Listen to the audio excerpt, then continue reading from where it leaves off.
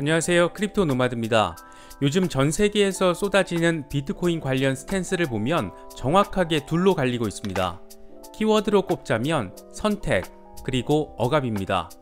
전통적인 기득권 세력이라고 하더라도 가상화폐를 인정하고 적극적으로 흡수하려는 입장이 있는 반면 가상화폐를 범죄 세력처럼 사회적 안정을 해치는 존재로 규정하고 적극적으로 억압하는 입장도 존재합니다. 선물 시장에서 비트코인 시세를 끌어올리려는 long 포지션과 비트코인 시세를 주저앉히려는 쇼 포지션이 첨예하게 맞붙어 있는 것만큼 거시적으로는 가상화폐를 바라보는 관점 자체도 커다란 갈등 양상을 보이고 있는 겁니다.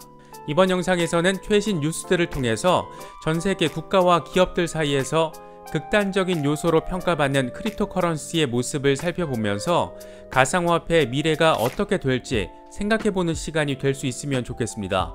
본격적인 시작에 앞서서 좋아요와 구독을 부탁드리겠습니다. 그럼 시작하겠습니다. 암호화폐를 지구상에서 가장 적극적으로 수용하며 수익을 내고 있는 전통 금융기관을 꼽으라면 단연 비자입니다. 비자는 최근 4개월 동안 암호화폐 파트너십이 43%나 증가했습니다.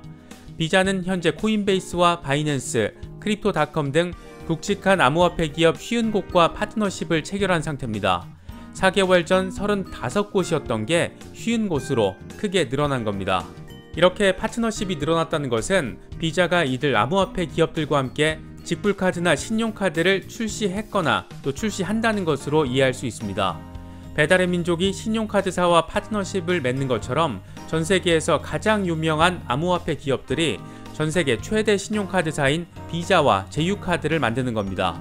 이를테면 코인베이스 비자 카드로 코인베이스에서 가상화폐를 매수하고 결제하는 방식입니다. 아주 오래되진 않았지만 그래도 기존 대표적인 금융기업으로 꼽히는 비자는 그 어느 신용카드 회사보다 발빠르게 cryptocurrency를 수용하고 있는 모습입니다. 적극적으로 암호화폐 기업과 제휴를 하면서 최대 목적인 수익 극대화를 추구하는 겁니다. 중앙화된 금융 시스템이 탈중앙화된 금융 시스템에 거부감을 느끼는 경우도 굉장히 많은 상황에서 비자의 이런 대응은 트렌드를 읽고 행동에 옮긴 것으로 평가할 수 있는 부분입니다. 결과는 일단 성공적이었다고 평가할 수 있어 보입니다. 비자는 2021년 상반기에 암호화폐 연계 카드 사용이 무려 10억 달러를 찍었다고 밝혔습니다. 우리 돈으로 치면 1조 1000억 원이 넘는 규모입니다. 비자 CFO인 바산트 프라브는 우리는 가상화폐 사용이 더 용이하고 더욱더 다른 화폐와 비슷하게 사용될 수 있게 하기 위한 생태계를 만들기 위해 많은 일을 하고 있다. 더 많은 우리 고객들이 다양한 거래소에서 많은 가상화폐를 매수할 수 있고 이런 흐름은 계속될 것이다. 이렇게 말했습니다. 비자는 이미 가상화폐를 다른 화폐와 동일한 수준으로 놓고 수익화 대상으로 삼고 있는 겁니다. 최근 리플 이슈가 거론되면서 리플랩스가 SEC 소송 이슈에도 불구하고 여전히 리플넷 ecosystem을 진화시키려는 작업에 주력하고 있다는 점이 주목받기도 했습니다. 리플랩스는 토큰이 상용화된 미래에서 사람들이 어떻게 사고 또 팔고 자산을 관리할지에 대해서 지속적인 연구를 하고 있습니다.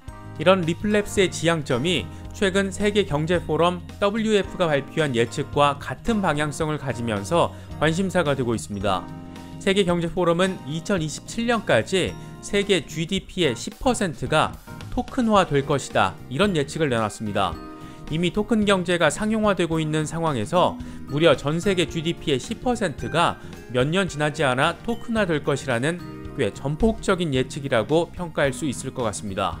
터키에서는 암호화폐 사용자가 1년 동안 11배나 급증했다는 소식이 전해지면서 주목받았습니다. 터키 암호화폐 거래소 파리부가 조사한 내용을 코인텔레그래프가 보도했는데 핵심은 터키 시민의 비트코인 등에 대한 인식과 행동입니다. 지난해의 경우에는 조사 대상 6,000명 가운데 암호화폐 거래를 한 비율은 0.7% 수준에 불과했지만 올해에는 1,400명 가운데 7.7%가 비트코인 등 암호화폐 거래를 해봤다고 밝히면서 무려 11배나 급증한 것으로 나타났습니다. 이런 변화는 터키 암호화폐 거래소 파리부 이용자 수가 60만 명에서 1년 사이 400만 명으로 늘어난 점을 반영하는 것으로 분석됐습니다. 암호화폐가 이미 사람들의 인식 속에 화폐로서 자리 잡고 일상 속에 자리한다는 점을 아주 잘 보여주는 사례로 보입니다. 비자와 세계 경제 포럼, 또 터키 사례를 어떻게 바라봐야 할지 분명히 고민해볼 가치가 있는 이슈들 같습니다. 물론 이런 현실과 달리 가상화폐를 규제하려는 각국의 움직임 역시 속속 이어지고 있습니다. 태국 중앙은행은 가격 변동과 사이버 절도, 돈 세탁 등의 위험이 있다는 이유로 비트코인과 이더리움 등 디지털 자산으로 상품 서비스 결제를 하지 말라고 경고했다는 소식이 전해졌습니다. 로이터 보도 내용을 보면 태국 중앙은행은 성명서를 발표하고 디지털 자산은 법정 통화가 아니라는 점을 분명히 했습니다. 그러면서 결제용 디지털 자산이 널리 보급될 경우에 증권거래위원회, 유관기관과 협력해서 경제 금융 시스템의 위험을 초래하지 않도록 조치를 취할 것이라고 강조했습니다. 같은 날 중국 인민은행 부총재 파니페이가 디지털 화폐는 금융 안보와 사회적 안정을 위협한다라고 밝히기도 했는데 태국과 중국은 거의 비슷한 관점으로 가상화폐를 바라보고 있는 모습입니다.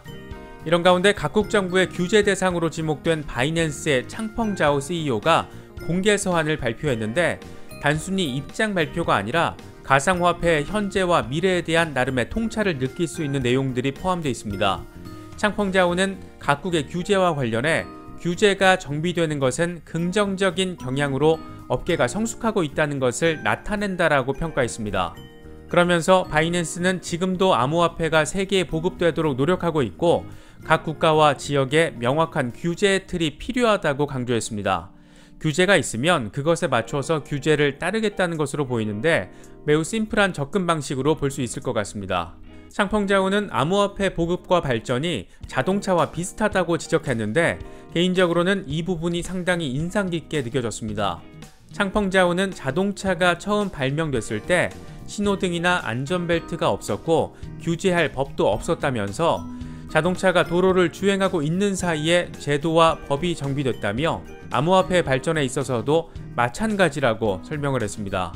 바이낸스가 어떤 입장을 밝힐지는 사실 뻔했습니다. 굳이 각국 정부의 규제 이슈에 반발할 이유가 바이낸스로서는 전혀 없기 때문에 필요한 규제라면 당연히 따라야 하고 그런 건전한 규제는 모든 투자 시장에서 기본적으로 존재해야 투자의 건전성을 유지시킬 수 있다는 것은 상식 중의 상식이기 때문입니다.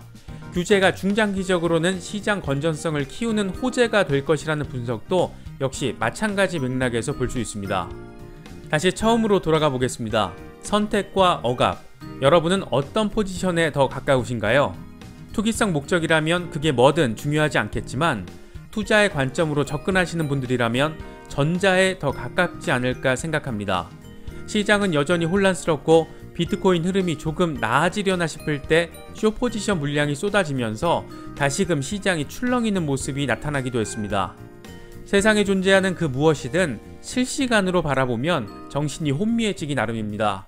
가상화폐 미래를 바라보고 선택과 포용을 선택하신 것이라면 좀 더 긴 호흡으로 지금의 상황을 바라보시는 것도 지금의 혼란스러움을 극복하는 좋은 방법이 되지 않을까 생각합니다. 이번에 준비한 영상은 여기까지입니다. 영상이 도움이 되셨다면 좋아요와 구독 또 알림 설정을 부탁드립니다. 언제나 여러분의 성투를 기원합니다. 시청해주셔서 감사합니다. 지금까지 크립토 노마디였습니다.